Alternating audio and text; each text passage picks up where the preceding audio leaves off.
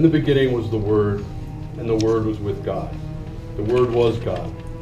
He was with God in the beginning. All things were made through him. Nothing was made without him. In him there was life. That life was light for the people of the world.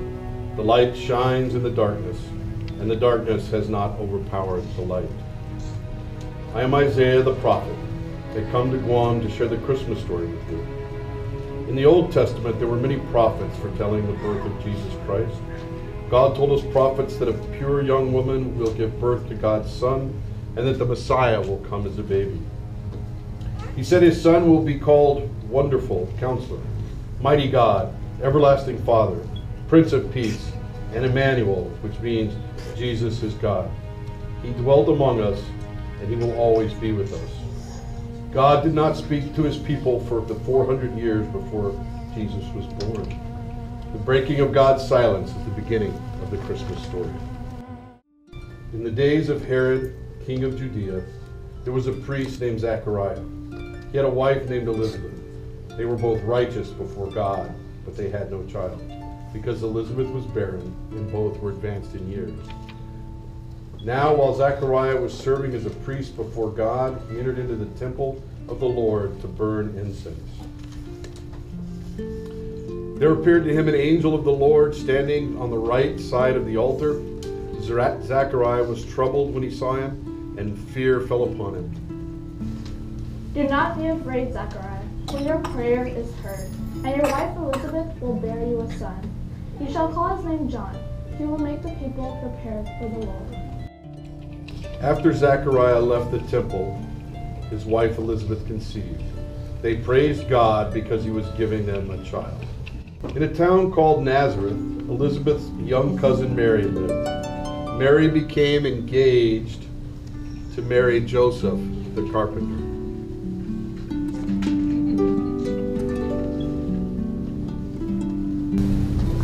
Peace be with you. God has blessed you and is pleased with you. Mary was very surprised by this and wondered what the angel meant. Don't be afraid. God has been very kind to you. You will become pregnant by the Holy Spirit and give birth to a baby boy. You will name him Jesus. He will be God's own son, and his kingdom will never end. Mary was afraid, but she trusted God. Let it happen as God chooses. Your cousin Elizabeth, who everyone thought was too old to have children, will have a baby boy whom God has chosen to prepare the way for Jesus. The Lord told Joseph in a dream not to fear to take Mary as his wife. He trusted God and was happy to be Mary's husband and Jesus' earthly father. Mary goes to Jerusalem to see her cousin Elizabeth. You've been blessed among women. The fruit of your womb is blessed. How is it that you, the mother of God's Son, would come to me? Look, when I heard the sound of your greeting, the baby in my womb jumped for joy. How awesome for you who believes that the things the Lord told you would be fulfilled. My soul glorifies the Lord, and my spirit rejoices in God my Savior for he has been mindful of the humble state of his servant. From now on, all generations will call me blessed. For the mighty one has done great things for me. Holy is his name. Mary stayed for three months, then went back to Nazareth. Now it was in the time, in that time, that a decree was given to all the people to register. So Joseph and Mary went to Bethlehem.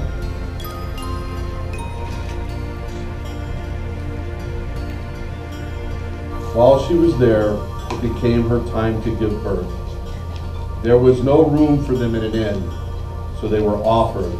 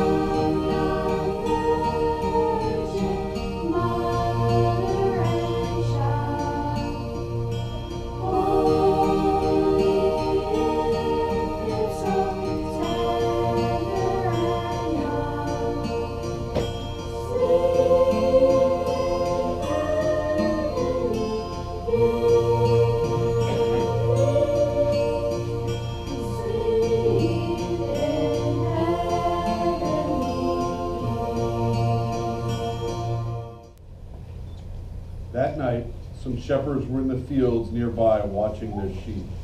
An angel of the Lord stood before them. The glory of the Lord was shining around them, and suddenly they became very frightened. Don't be afraid, because I am bringing you some good news. It will be a joy to all the people. Today your Savior was born in David's town. He is Christ the Lord. This is how you will know him. You will find a baby swaddled, swaddling clothes and lying in a manger. Then a large group of angels of angels joined the first angel. All the angels were praising God and saying, all the angels were saying, Glory to God in heaven, let there be peace on earth, goodwill towards men. Let us go to Bethlehem to see this thing that has happened. We will see this thing the angels told us about. Searching for a baby on the streets of Bethlehem.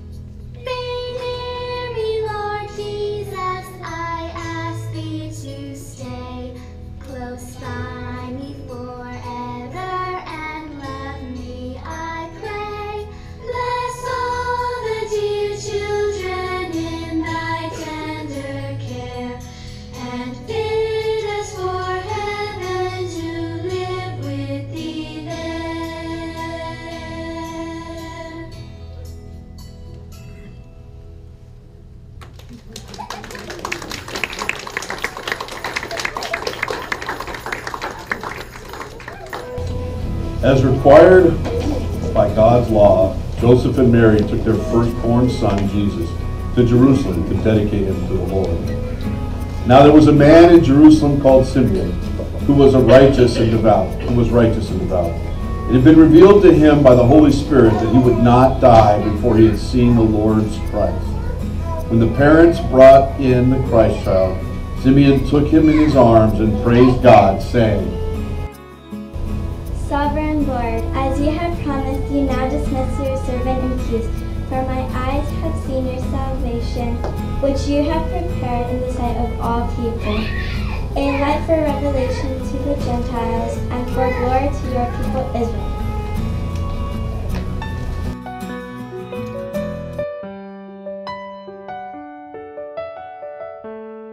The three believed without a doubt, saw a guiding light. Found him in a lonely place, knew he was divine. Wise men,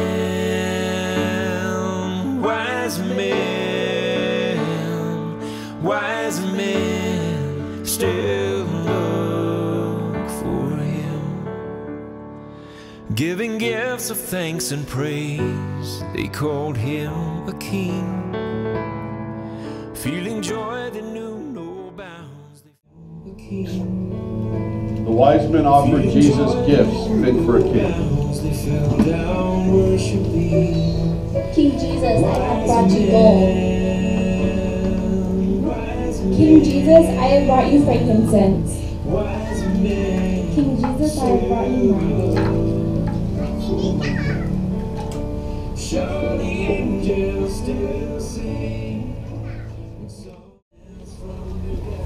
this time, we will now collect our tithes and offerings. The wise men will collect them and then lay them at the feet of King Jesus. searching for salvation. They need not wear a crown. He's still here for all who seek, and he wants to be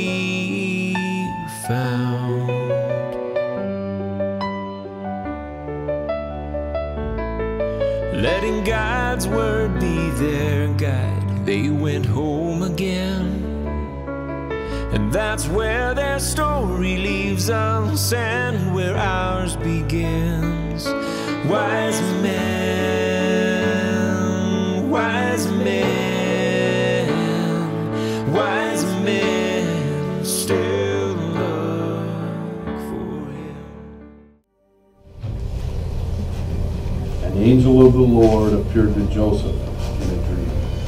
Get up, take the child and his mother and escape to Egypt. Stay there until I tell you, for Herod is going to search for the child and kill him. So he got up, took the child and his mother during the night,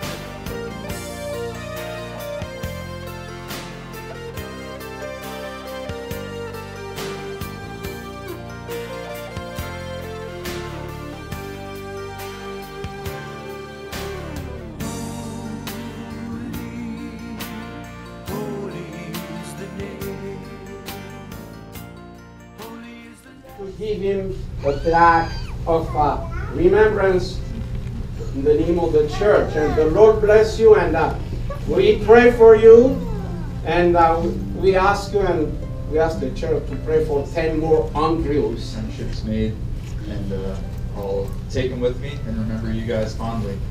And, uh, thank you for all that you've been to me. We put together a little prayer box for you guys, and we want you to go home and fill out. It on? Hold it close. And we want you to go home and put your prayers and pray to God in here. And if you have any trouble, we filled it up with some prayers for you to begin with, okay? And then we have this poster for you. So here's the thing, if you're paying attention.